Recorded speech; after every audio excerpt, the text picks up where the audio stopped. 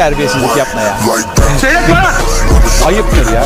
Hadi ben şaka o zaman seyret. Aynen öyle.